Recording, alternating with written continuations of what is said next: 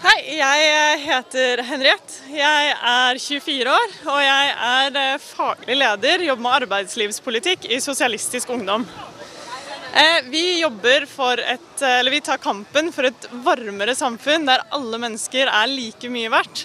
Uansett hvor du kommer fra, hva slags leken du har, og hvor mye penger du eller foreldrene dine har i lommeboka.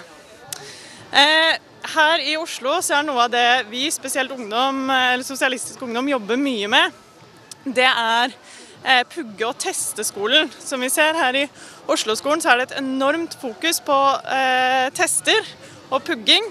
Og Oslo har jo egne Oslo-prøver for barn her også. Vi ser at veldig mange eh, opplever veldig mye press på skolen og mange andre arenaer. Derfor ønsker vi en eh, skole der det er nok lærere til å se alle elever. En skole som fokuserer på hva du kan, og ikke bare hva du klarer å pugge i løpet av, eller til en prøve som er én dag. Gjøre Oslo til en mer miljøvennlig by. Vi ønsker mye større fokus på bl.a. sykkelveier. At man faktisk har mulighet til å sykle i Oslo. Nå er det eh, dessverre litt farlig mange steder. Eh, vi ønsker bedre kollektivtrafikk mye eh, bredere tilbud, sånn at alle kommer seg dit de skal, når de skal. Og så ønsker vi en bilfri by, der man eh, har mulighet til å gå rundt, sykle og være aktiv.